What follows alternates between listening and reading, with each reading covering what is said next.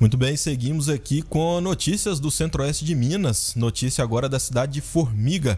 Uma adolescente de 15 anos e um homem de 38 foram flagrados pela Polícia Militar com 10 pedras de crack embaladas e já prontas para venda no bairro Rosário, na cidade de Formiga.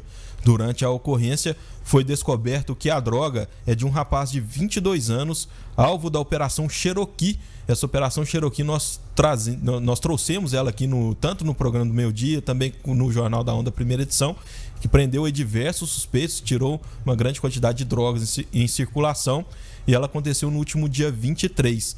Na ocasião, na ocasião, este rapaz que foi preso hoje, ele não havia sido localizado. Bem, diante das informações, a polícia foi até a casa do suspeito. Ao perceber a presença dos militares, ele tentou fugir pelos fundos do imóvel, mas foi contido. No local também estava uma mulher de 50 anos, usuária de drogas. Na casa foram encontrados e apreendidos outros 27, outras 27 pedras de crack, além de 460 reais em dinheiro, um veículo e uma réplica de arma de fogo. Bem, o jovem alvo da operação e o homem de 38 anos foram detidos pelos crimes de tráfico de drogas, corrupção de menores e ameaça. A mulher foi detida por uso e consumo de drogas. Já a adolescente foi apreendida e encaminhada para a delegacia acompanhada por uma representante legal.